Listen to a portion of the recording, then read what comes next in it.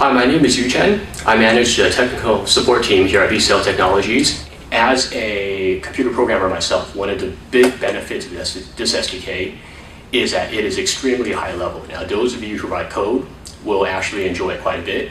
Why? Because you'll be done in a flash. SDK allows you to convert various documents to PDF and to post-process those PDFs. In a nutshell, it's really designed for any organization that does have digital document processing needs. Now, these can be organizations that currently have such needs and have some other workflow entirely. Maybe it's not in PDF, maybe it's in some kind of format that's tougher to handle.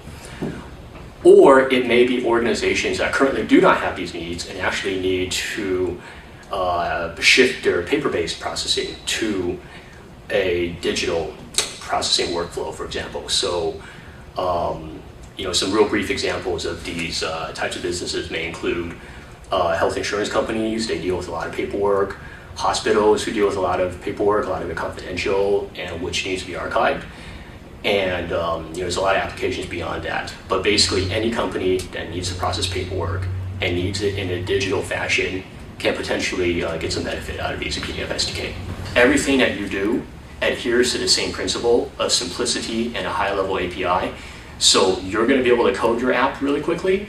And what that translates to, obviously for you as a developer, is um, going to be an easier time doing your job. And what that translates to for the business folks, of course, is going to be you know faster time to market for your product.